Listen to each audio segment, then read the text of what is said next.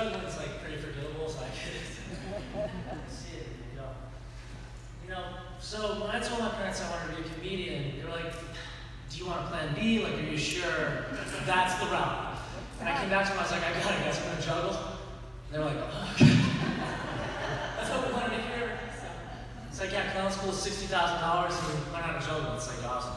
Anyways, Before I get going, though, I'm gonna address it. I'm kind of trying out a new style thing and growing the hair out. You guys, what do you think? Yeah. One person went, it's getting a little long. I said. But uh, so I went to, um, I kind of knew that my hair was getting a little too long because people were starting to kind of express concern about my health because I went out was eating and a waiter came over and he goes, well, how is everything? And I said, man, the food is wonderful. And he goes, no, like, how is everything? Is your house a home? Do you feel loved? I said, yeah. And I just kind of, also, this is cool. I'm the last member of the Cloggers. Like, the only issue is when you don't do it with the proper shoes, you go. That's why they didn't take me. But yeah, I also, so I took my, uh, my friend up uh, for Thanksgiving. I took my friend and we all had a great meal. And I knew my hair was getting long because I walked up to my grandfather. My friend's name is Toby, and I said, Hey, Granddad. He goes, You must be Henry's friend Toby. And I like, "Oh, that's, that's me. Now, in about two seconds, you're not going to recognize me. So just hold on.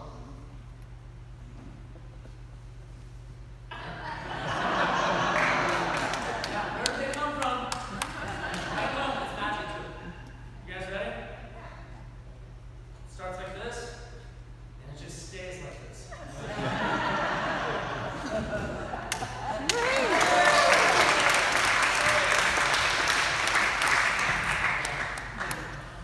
I also have some other talents. Now, a couple of these you gotta really pay attention to recognize the, the genius behind it. Uh, but everybody, so we got some churchgoers here. Genesis It's a wonderful book. It's a wonderful chapter, uh, and I actually speed read.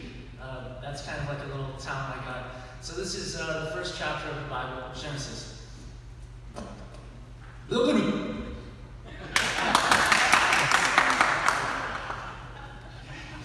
Did you guys get all of it? It's a wonderful book. Right, okay, so um, now this last one, there's, there's not many animals in the house tonight, but this one's for the dogs. Uh, actually, they have such a better sense of hearing than, than human beings that they can hear notes that human beings can't hear. So you go, and then it disappears to us, but to them, like, so I wrote this song for them.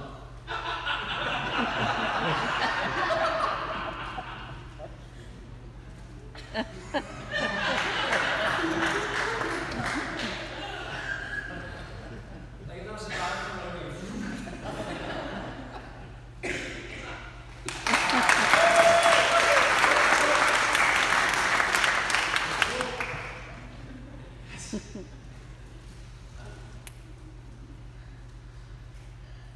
What do you guys think so far? Yes, is he good? Alright. Now this is the one I was a little nervous about.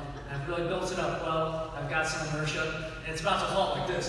So get excited. So this is my impression. Okay? This is my impression of a hacky comedian during the time of Jesus.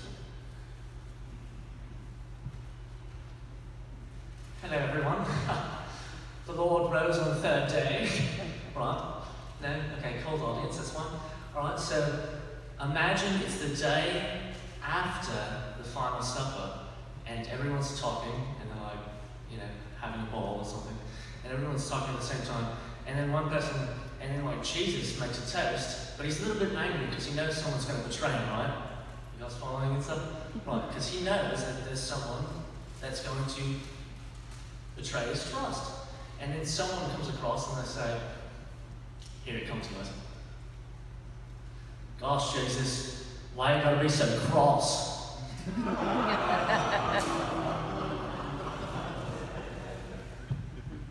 That's my time, folks.